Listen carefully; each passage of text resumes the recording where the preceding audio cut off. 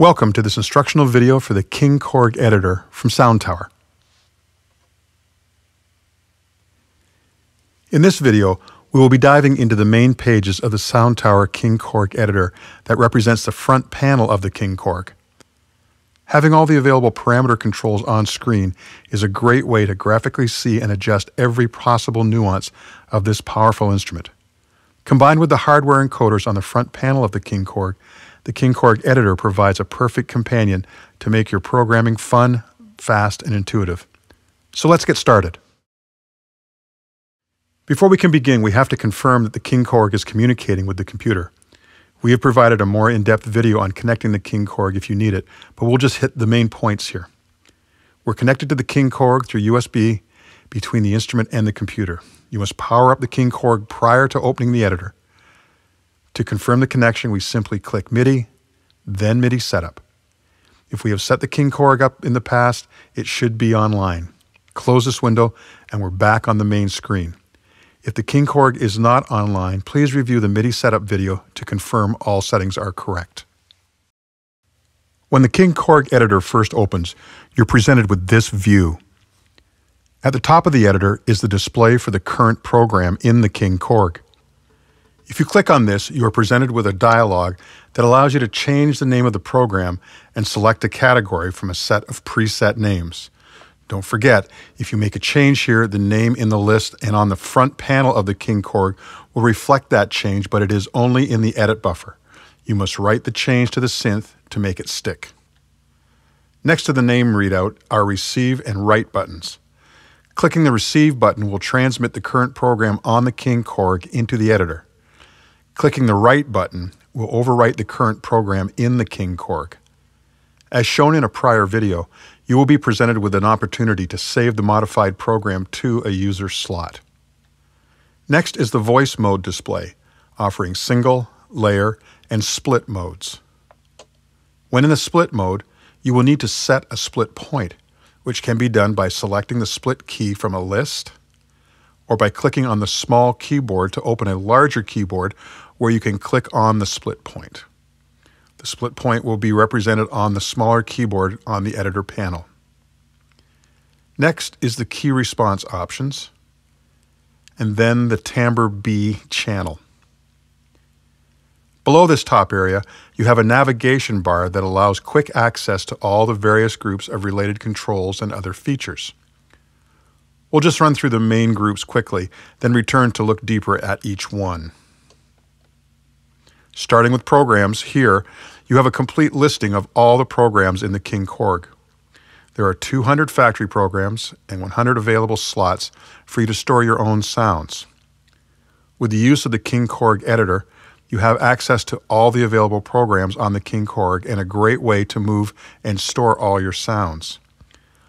Without any of these category buttons across the top of the list selected, all the programs are displayed.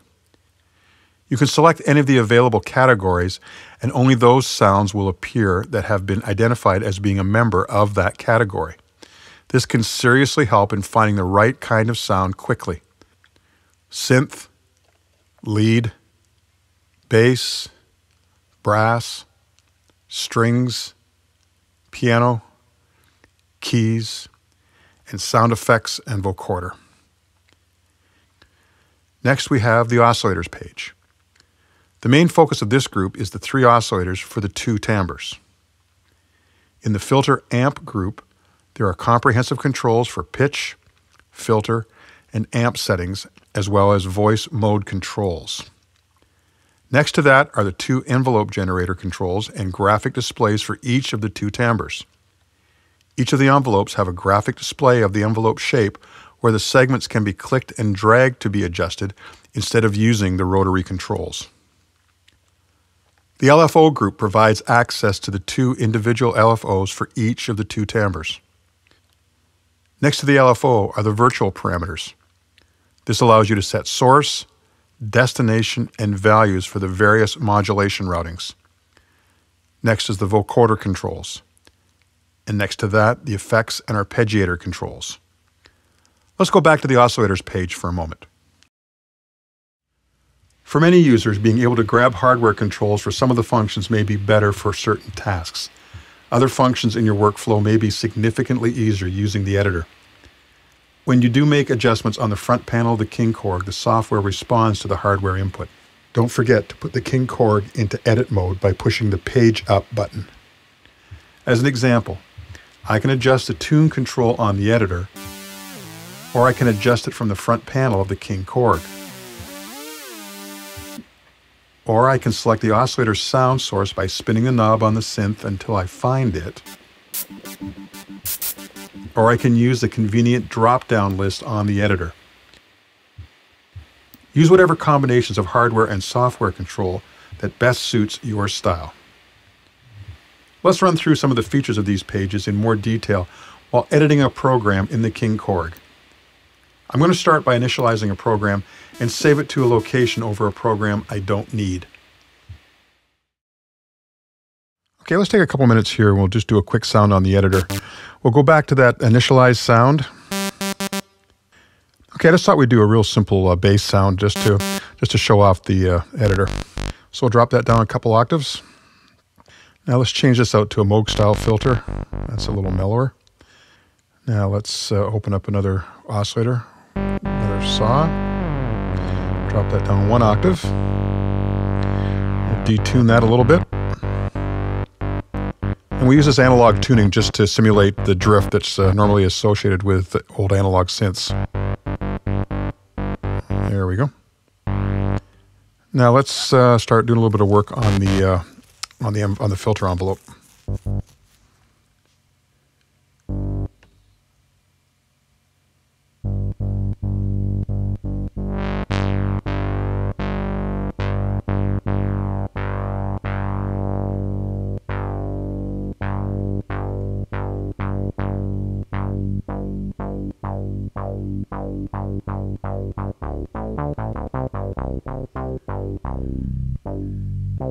Get that darkened up a little.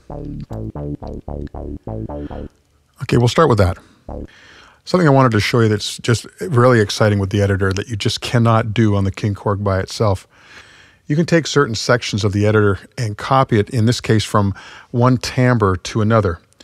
So as an example, I can copy the oscillator and envelopes from timbre A. Actually, first let's put this in, uh, in layer mode. So I've copied layer A, and I can paste that into B. Now both sides of, the of the layer are the same. Now I need to uh, do the same thing with the, uh, with the filter. This is for amp and filter. Paste it down to B.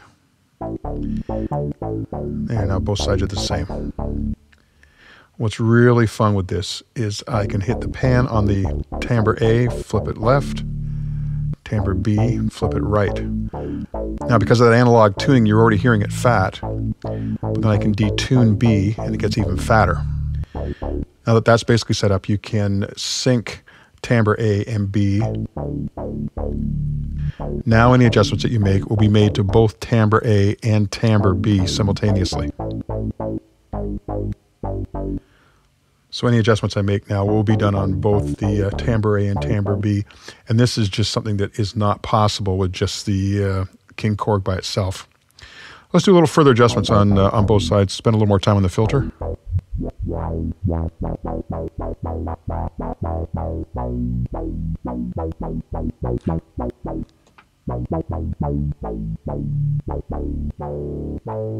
As I said, this is just a pretty simple bass sound, but I just wanted to show you the advantages of the uh, of using the editor.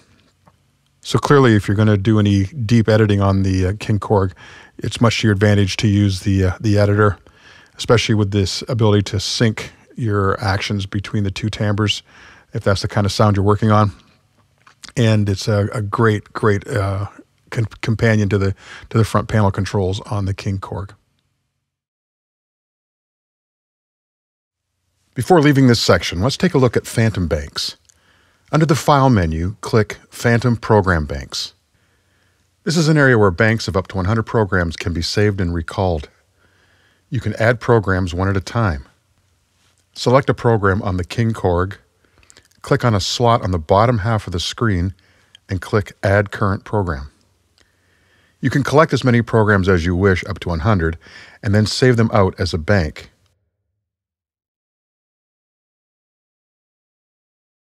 And you can save 16 banks. If you've created a lot of original programs stored in the King Korg and you want to save them in banks, you can load and save those banks in one operation.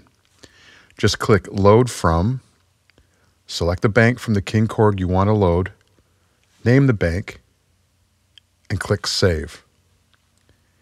From the Edit menu, you can also copy and paste programs, rename a program, set up an initialized program, and remove a bank. The Phantom Program Bank feature is a great way to create and store your best sounds and keep them easy to find and recall. Okay, that's it for this quick overview of the main panels of the Sound Tower King Korg editor. Please take a look at the other videos that cover other features of this handy tool to get inside the King Korg. It's so easy.